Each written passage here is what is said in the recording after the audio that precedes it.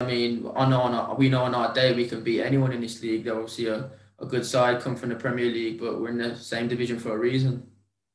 And you played them last season. I think that was your full debut for Coventry as well. So you must yeah, have some memories yeah. of that day. Yeah, that was a good day to be fair, even though the result wasn't all the best, but it was a great day for me.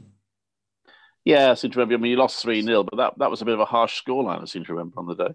Yeah, I thought first half we did well, and then they scored like right just before half time, so we had to come out in the second half, and then they sort of picked us off a bit in the second half. But the fans that day were unbelievable.